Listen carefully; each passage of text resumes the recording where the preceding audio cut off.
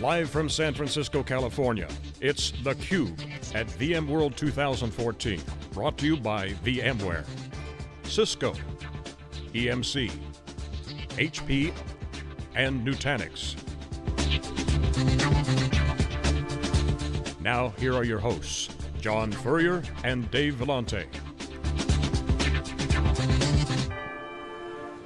Okay, welcome back everyone. We're here live in San Francisco, California for VMworld 2014. This is the wrap up of day three, wall-to-wall -wall coverage. I'm John Furrier with SiliconANGLE, and Dave Vellante, my co-host, and, and co-anchor here, Stu Miniman, been filling in, getting the data, doing some interviews. I'm Martin Casado. I just posted your selfie, by the way, up on uh, Twitter with uh, Martin. Guys, wrap up.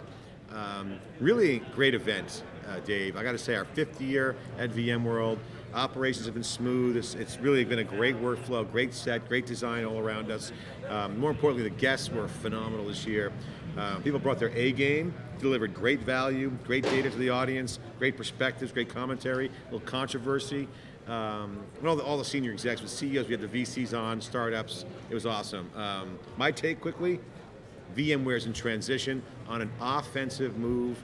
They have a great, great management team with the reorg. Sanjay Poonen was just on talking about it. Pat Gelsinger was highlighting it.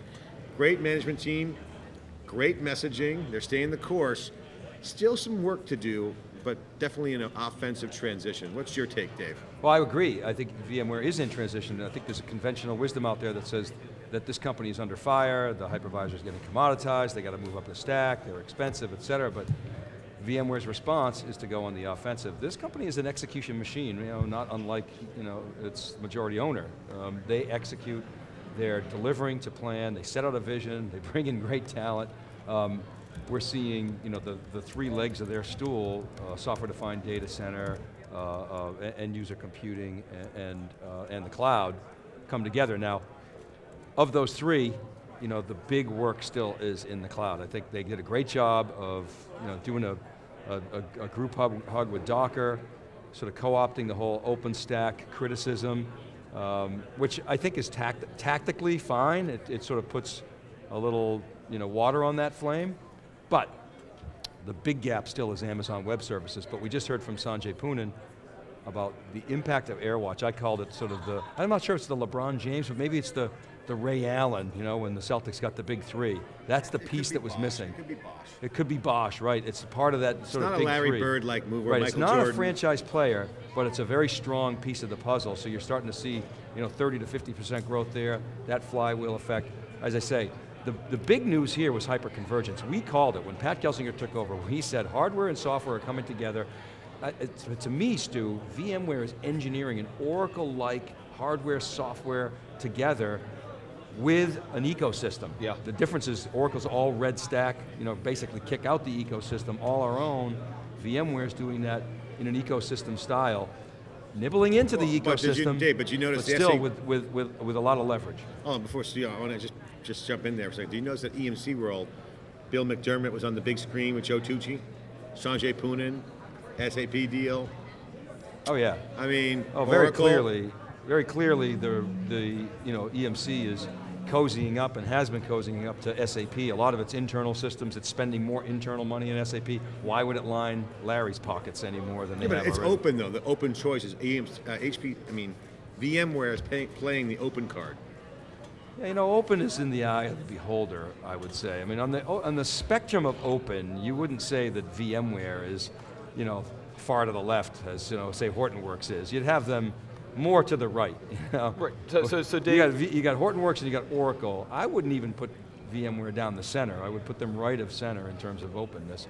Um, I don't know, Stu, if you agree Yeah, with that. uh, so, so Dave, first of all, to your, your comment, convergence has been huge at this show. When Wikibon put out, the first industry forecast on converged infrastructure two years ago, and we predicted that by 2017, about two thirds of infrastructure in the data center will be bought in some kind of converge. People thought we were way too aggressive, and if you looked at this I show, think we're low. we- we're probably a little bit low. It, it's happening fast. Right. Everybody's involved. Secondly, everybody seems to think, you know, well, VMware's just going to co-op the entire stack. But they're, they're doing a relatively good job of maintaining their partnership with their ecosystem, and it's co-opetition. I talked to you know Nutanix and VDI with VMware. VMware still needs Nutanix uh, in certain pieces. They're making partnerships with Nexenta. Uh, they're still reaching out to lots of pieces because you know at the end of the day, VMware's not going to be a hardware company. They're a software company. They need the hardware. Sure, they're trying to pull value out of it. As, as my premise has always been, they need to be the next Intel. Intel sucked functionality for the last 10, 15 years uh, in, in, into the stack. And, and Dave, I'd agree on openness, you know, the Federation talks about choice, and of course you can have any choice you want as long as it's in their portfolio. But Stu, the other validation point is Nutanix raised $140 million, and just go looking at the numbers here, it's a five-year-old company. We've been doing the cube for five years. They've raised 13 million, 25 million, 33 million, 101 million. So 13 million in uh, And now 2010, 25 million in 2011, 33 million in 2012, 101 million just this past December, and now another 140 million.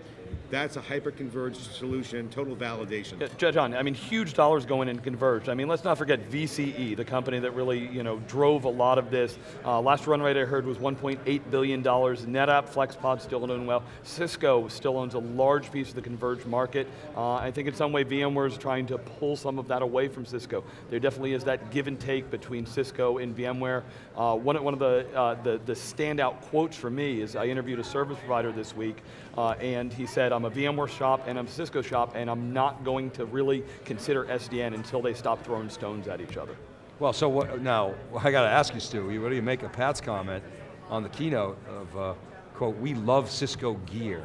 I mean, I saw that as a clear attempt to deposition, you know, through you know, faint praise, uh, a major potential competitor, uh, you know, slash partner, but if you're Cisco, how do you feel about that? Yeah, well, well, Dave, of course, buy all VMware software, and you can absolutely run any hardware, and there's lots of Cisco hardware So what's out there, Cisco's so- response to that? They're not going to sit still, right? Chambers said bring it on.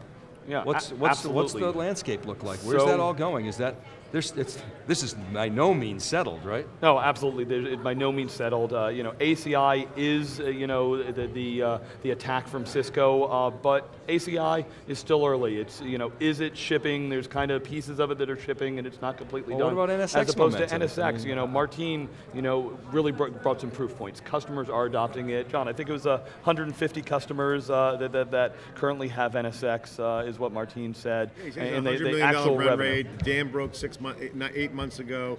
You know, Martin's on a P&L though. He's going to be pimping up his business, but you know the. You know, those run rate numbers are funky, right? Yeah. Sometimes they're really Well, lumpy. remember XtremIO? right? how You know what I'm they- saying? They have a one big deal and all of a sudden it's, Or backlog from preferred yeah, customers. and who knows how they're counting it, you know, it's, it's, it's, it's easy to play those types of games. We don't know yet. No, We no. He, I asked him that question. I said Extreme IO had the same thing. In directed availability, they were basically more revenue than Pure on just on directed availability.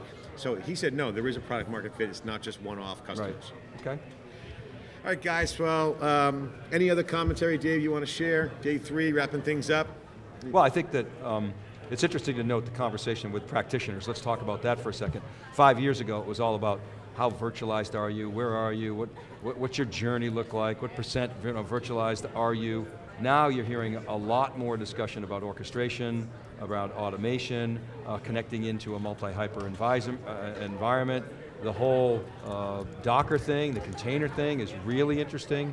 You know, a lot more around mobile. I think the transition that, that these guys are making in terms of, of end user computing within the customer base is a lot more substantive than it was five years ago. So that to me is really the, watching the progress has been pretty as- astounding.